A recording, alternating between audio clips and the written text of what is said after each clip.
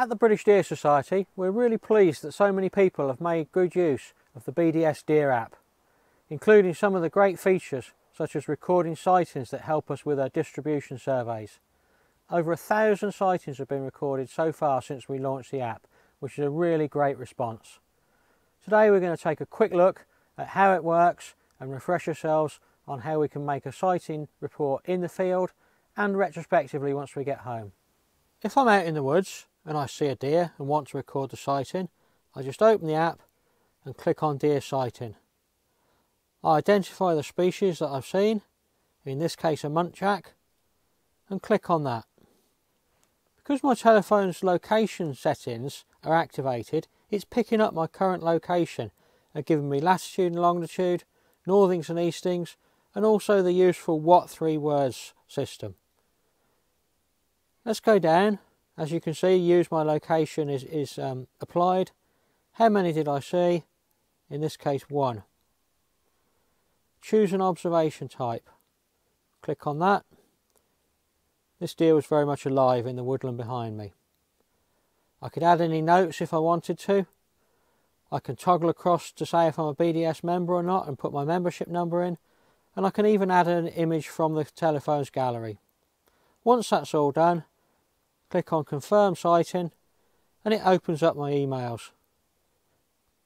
Click the email icon and it simply generates an email that I touch send and off it goes to the British Deer Society headquarters and I get a response saying thank you for reporting a sighting.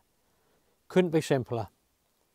Return to dashboard and then we're free to use any of the other features on this excellent app. Now let's look at how we can record a sighting retrospectively.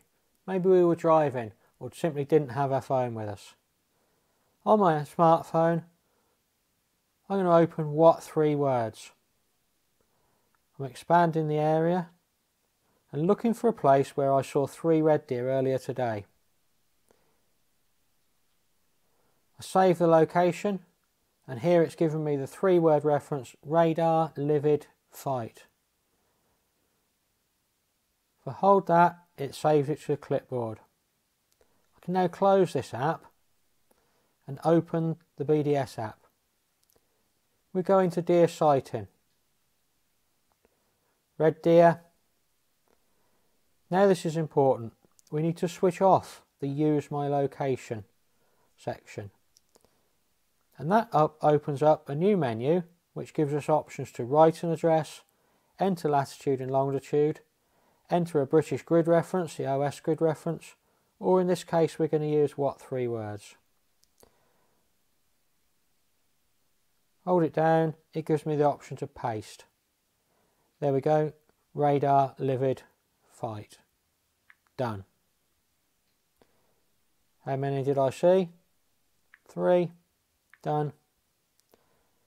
Observation type. They were alive. Notes. I saw two hinds and a stag calf.